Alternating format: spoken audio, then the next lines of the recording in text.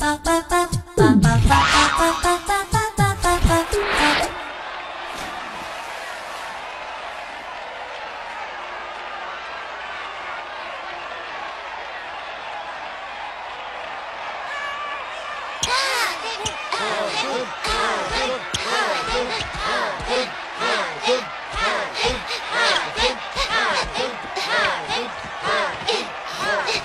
Huh?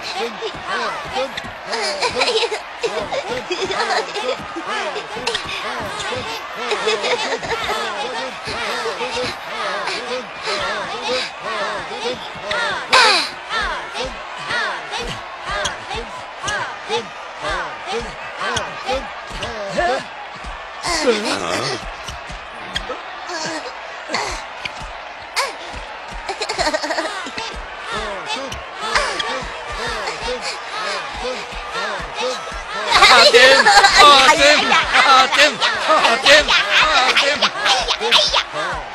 حاتم حاتم الحمد لله الحمد لله حاتم. حاتم حاتم هي إن حاتم لاعب موهوب حقا. إن حاتم هو اللاعب الأقوى في الفريق. لقد سدد أكثر من ثلثي الأهداف في سلة الخصم شكرا. شكرا شكرا. شكرا. بقي دقيقتان على نهاية المباراة.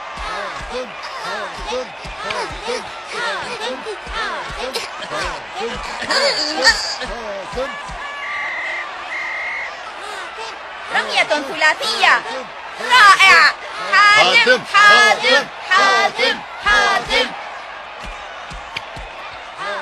هي بهذه الرمية الثلاثية يرتفع رصيدنا إلى 68 هدفا مقابل 23 للفريق المنافس. هذا رائع. رائع رائع يا حاتم. هيا نافس يا حاتم. رمية ثلاثية رائعة في آخر ثانية. يا إلهي رائع رائع.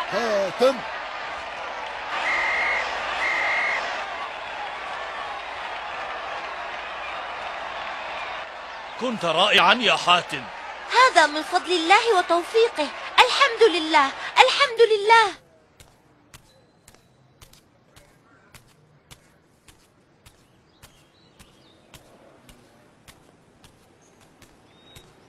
السلام عليكم وعليكم السلام ورحمة الله وبركاته. لقد كان أداؤك رائعا اليوم يا حاتم. نسأل الله لك ولفريقك التوفيق دائما. إنه فتى موهوب. سيكون نجما رائعا إن شاء الله.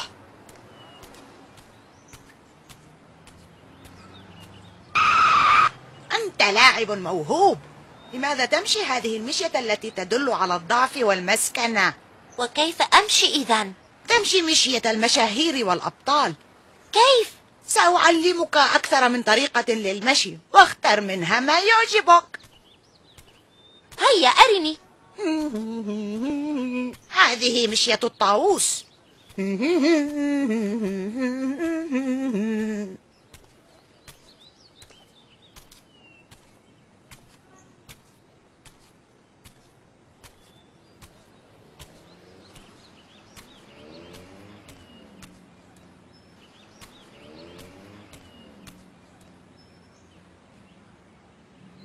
بل هذه مشية المغرورين المتكبرين. والله لا يحب المتكبرين. وهذه مشية الأبطال. التثاقل التأني اللامبالاة. هذه مشية المتغطرسين. التغطرس خلق مذموم والتواضع خلق محمود. من تواضع لله رفعه. لا شأن لك بذلك. يقول الله تعالى أعوذ بالله من الشيطان الرجيم.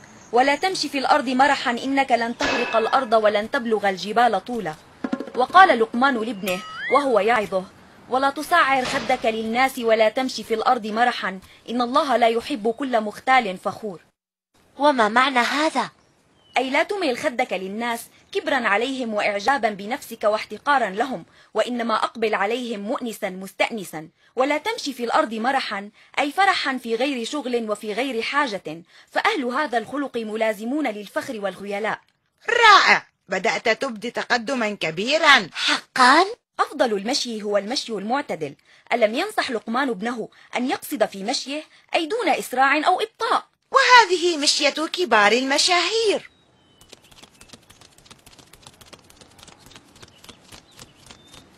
بل مشية البلهاء المتغطرسين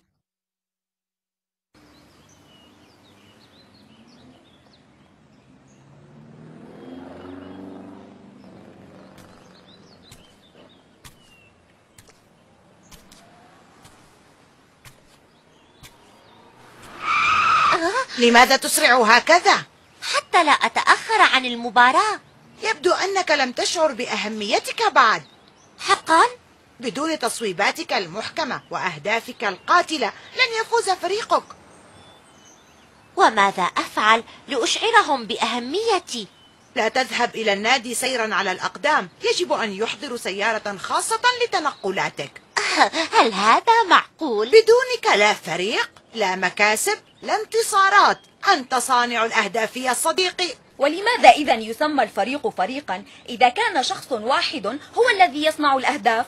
ماذا تقول؟ حاتم لا يصنع الهدف وحده ولكن بمساعدة بقية زملائه الذين يهيئون له الفرصة حتى يصل بالكرة إلى سلة الفريق المنافس سوف أدلل لك على صدق كلامي كيف؟ تريد أن تعرف كيف؟ لا تذهب إلى مباراة اليوم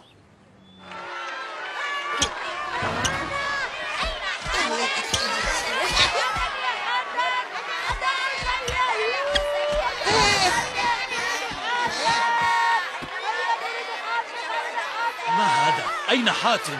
هذه أول مرة يتأخر فيها عن حضور المباراة هكذا ستضيع منا المباراة لماذا تأخر يا ترى؟ تصرف أدخل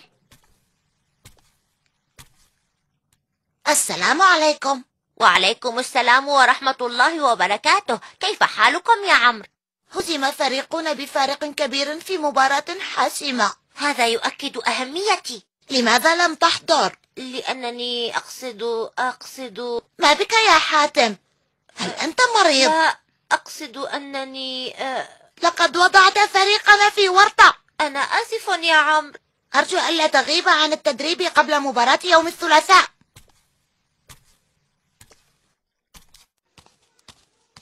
كانت مباراة رائعة ولكنني لا أعرف كيف خسرنا هل انتهى التدريب؟ والمباراة توشك أن تبدأ لماذا تأخرت؟ المشاهير مثلي يحضرون وقت ما يشاءون. لكنك لم تحضر التدريب.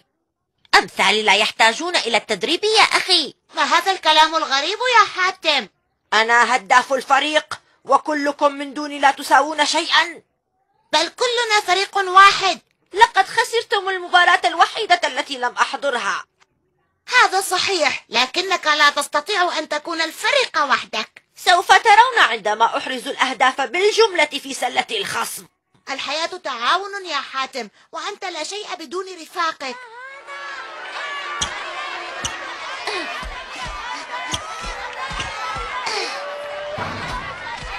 الفريق لا يساوي شيئا دون حاتم.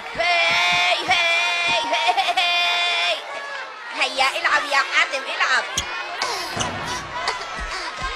الفريق لا يساوي شيئا بدوني أحسنت يا حاتم أحسنت الفريق لا يساوي الفريق شيئا لا بدون يساوي شيئا حاتم بدون حاتم قلت لكم أنتم لا تساوون شيئا من دوني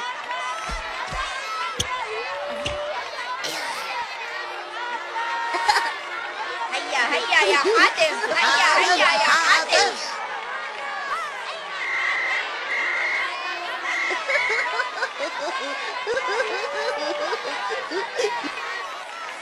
رائع يا حاتم. المباراة التي تتخلف عنها لا نفوز فيها. قل ذلك لزملائي. حاتم حاتم حاتم حاتم.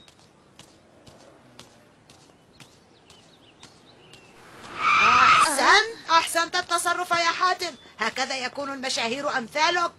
كيف وقد ساء سلوكه وأصبح مغرورا متكبرا. قلت لك لا شأن لك. إن استمر سلوكك كذلك فسيكرهك الناس وينفرون منك حتى لو كنت أفضل لاعب في العالم. ابتعد ابتعد من هنا.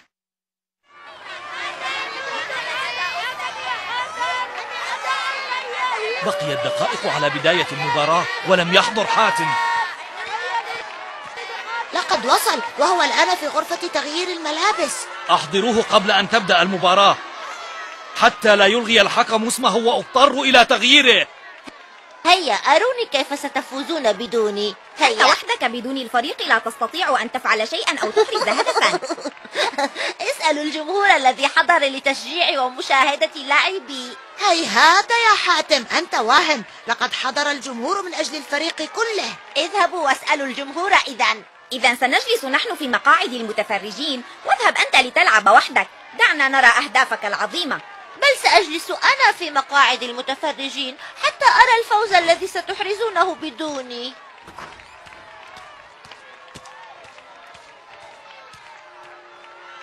ونحن سنلعب المباراة بدونك أيها المغرور. لقد طردتك من المباراة. هيا يا شباب هيا هيا هيا. تشجعوا هيا. ذوقوا الهزيمة حتى تعترفوا أنكم لا تساوون شيئا بدوني. えっ?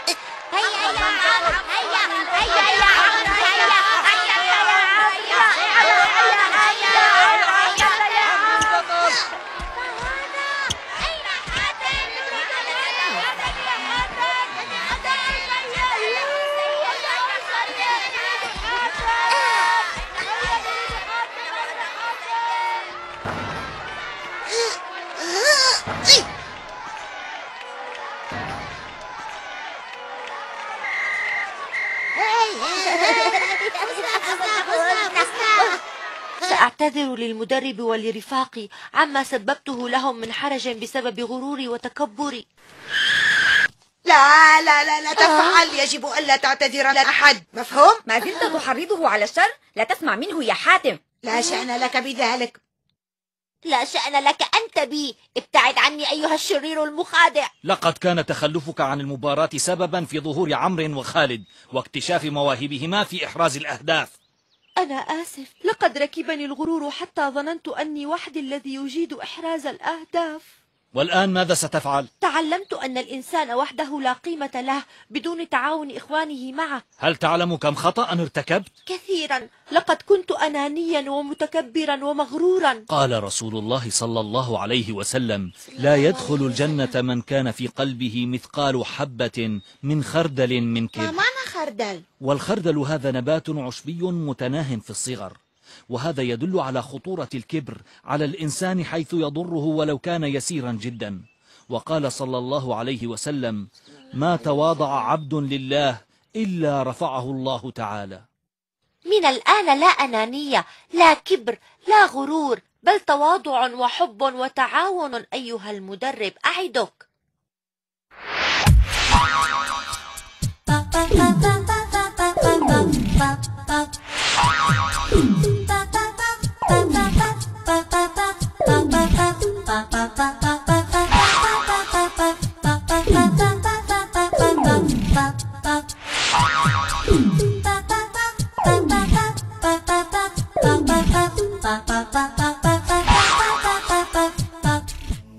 تشاهدون بعد قليل.